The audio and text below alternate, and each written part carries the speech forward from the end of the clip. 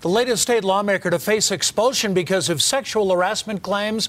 Republican Senator Randy Gard- Baumgardner survived a late night vote. This comes one month after the House voted to expel Democrat Steve Lebsock. Our political specialist Shaun Boyd on that story tonight. Shaun, it was mostly a party line vote that still fell well short of expulsion.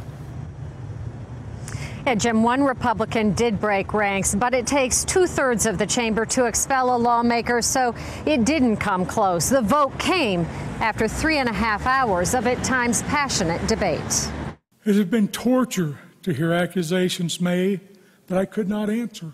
Senator Randy Baumgardner, accused of grabbing and slapping a legislative aide's buttocks, says the accusations are false, but he says they have caused him to take a long look in the mirror. It has made me want to make sure that the standards of my conduct I bring to this work is beyond reproach. But Democrats demanded more. All we've asked for throughout this process is accountability. Either we have a sexual harassment policy or we don't.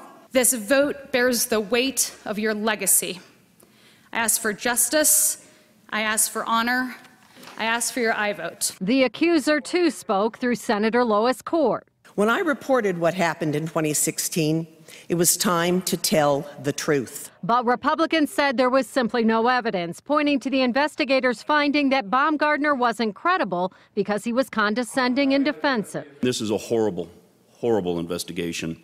It is neither filled with justice or credibility. What we are engaging in, to me, is somewhat of a public lynching. The vote split the chamber, but the Senate president hoped it would ultimately bring it together. I want to be able to point to this event and to be able to say this is where things hinged. This is where things got better. This is where things changed. Baumgardner recused himself from the vote. In all, there have been three complaints filed against him. Two of them are still open investigations. Live at the Capitol, Shaun Boyd covering Colorado first.